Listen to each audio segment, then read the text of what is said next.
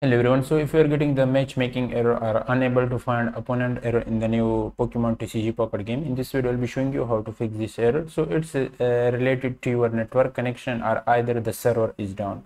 So the first thing you need to do is to change your network connection from Wi-Fi to mobile data or from mobile data to Wi-Fi. So switch your network connection and then try again. Also uh, turn on the flight mode for some time like for 5 to 10 seconds and uh, leave it then turn off it again and then in, connect your connect, uh, connection and enter into the game and check it whether the issue is fixed or not.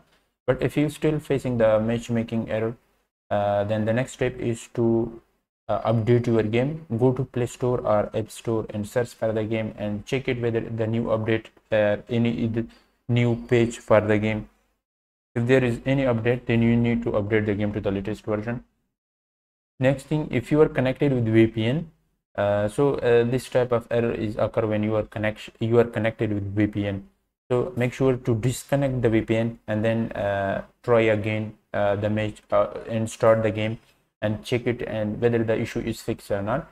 Uh, next thing is to make sure that you have a strong network connection. So if your con network connection is not good or not that strong then uh, it will be not matchmaking. So make sure that you have a strong network connection. I hope this one of this method work for you. Subscribe this channel for more informative video like this. Thanks for watching and goodbye